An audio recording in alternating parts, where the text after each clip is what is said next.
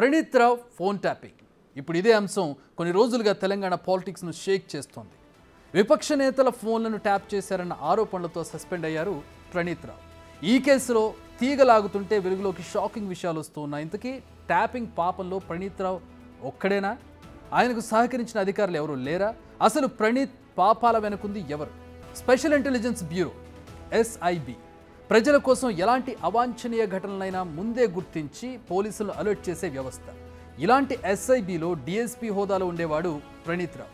అయితే ప్రజల కోసం పనిచేయాల్సిన ఈ అధికారి ప్రభుత్వ పెద్దల కోసం మాత్రమే పనిచేశారన్న ఆరోపణలు ఉన్నాయి ఏకంగా విపక్ష నేతల ఫోన్లను ట్యాప్ చేసి అలా దొంగచాటుగా విన్న వివరాలను ఎప్పటికప్పుడు ఇటు డిపార్ట్మెంట్లు అటు ప్రభుత్వ పెద్దలకు చేరవేశారన్న ఆరోపణలుగా ఉన్నాయి.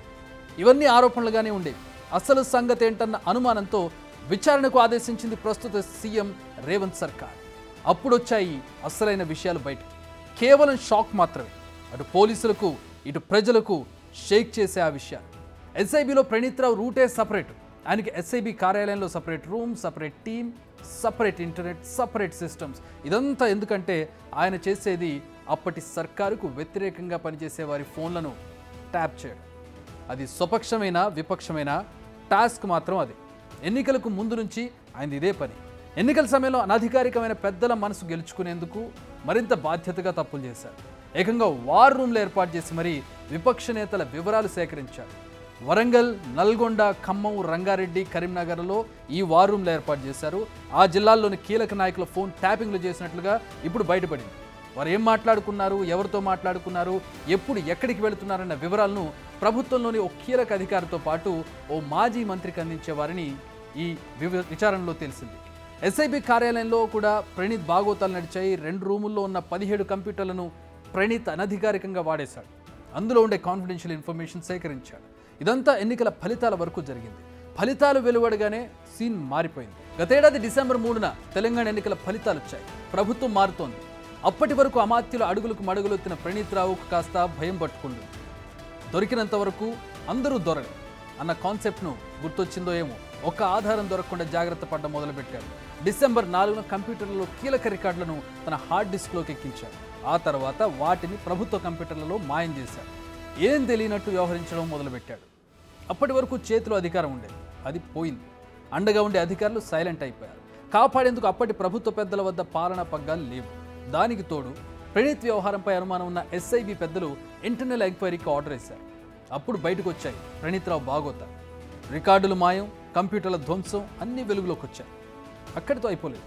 SIB additional SP Ramesh Panjagutta పోలీసులకు ఫిర్యాదు చేయడంతో సీన్ మరింత మారిపోయింది. ప్రణీత్ రావుకు సహకరించిన అధికారుల లిస్టు తీశారు.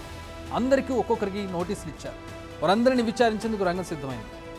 ప్రణీత్ రావును ఇప్పటికీ అదుపులోకి తీసుకుని సీక్రెట్గా ఎంక్వైరీ చేస్తున్నారు పోలీసులు. అయితే ప్రణీత్ నోటి నుంచి ఒక్క మాట కూడా పెగలడం లేదనేది మనకు అందుతున్న సమాచారం. అసలు ఫోన్ ట్యాపింగ్ ఎప్పుడు చేస్తారు? ఎలాంటి పరిస్థితుల్లో చేస్తారు?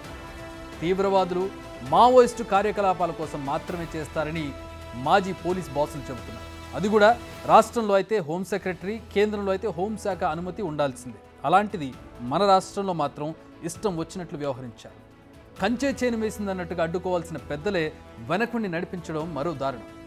ప్రణీత్రావు ఆస్తులు అతడికి ప్రమోషన్ ఎలా వచ్చిందన్న దానిపై కూడా ఇప్పుడు పోలీసులు ఫోకస్ పెట్టారు. ఈ విషయంలో కూడా ప్రణీత్ బ్యాక్ డోర్ని నమ్ముకున్నట్లుగా విచారణలో తెలుస్తోంది. పోలీస్ డిపార్ట్మెంట్లో యాక్సలరేటెడ్ ప్రమోషన్స్పై ప్రభుత్వానికి ఇప్పటికే ఫిర్యాదు అందింది.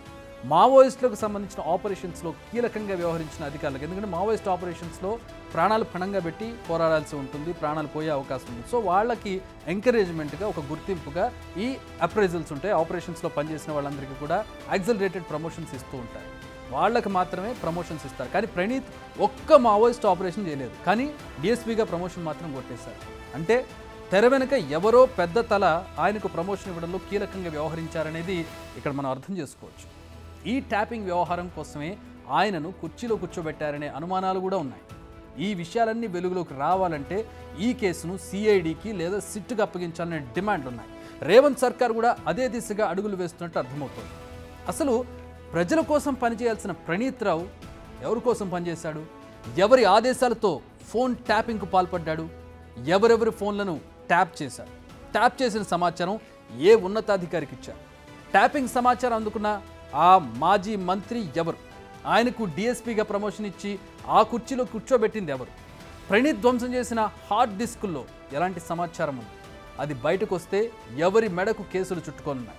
ఈ ప్రశ్నలన్నిటికీ సమాధానాలు చెబుతామంటున్నారు పోలీసులు. చూస్తుంటే తెరపై ప్రణీతే పాత్రధారిగా కనిపిస్తున్న తెర వెనుక మాత్రం అసలు సూత్రధారులు వేరే ఉన్నారనేది కాదనలేని వాస్తవం. ఆ పెద్ద తలకాయలు ఎవరన్నదే త్వరలో తేలడం ఖాయంగా కనిపిస్తోంది.